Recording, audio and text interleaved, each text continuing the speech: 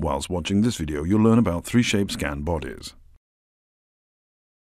3Shape scan bodies are created in durable titanium and coated for maximum visibility and accuracy during scanning. They can be used with both intraoral and lab scanners. 3Shape scan bodies are available either individually or in kits, which include a special screwdriver for mounting. Each scan body is marked with an ID tag for easy implant type recognition. To learn more about 3Shape scan bodies, please go to 3shape.com.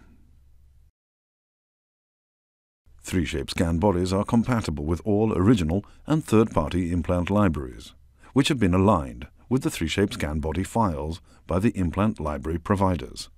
If your implant library of choice is not yet available, you might consider an alternative solution. In Dental System, you can check if your implant library of choice is up to date and includes 3Shape scan bodies by going to Control Panel, Abutments, Implant Systems, Scan Abutment Models.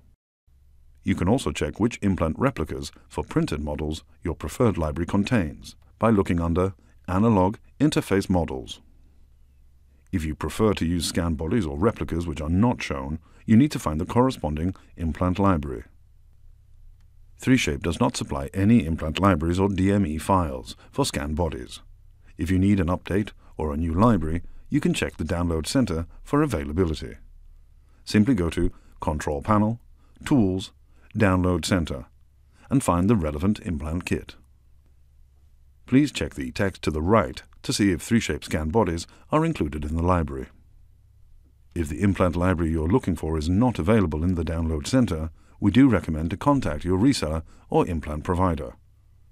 If you need to import a DME file containing your implant library into Dental System, go to Control Panel, Tools, Import Export. Once you are certain that you have all the correct implant libraries with the scan body and replica files that you want to use, you're ready to complete your orders. To see how to design a case while using 3Shape scan bodies, please watch our videos in that series. You have now learned about 3Shape scan bodies. We hope this was helpful, and thank you for watching.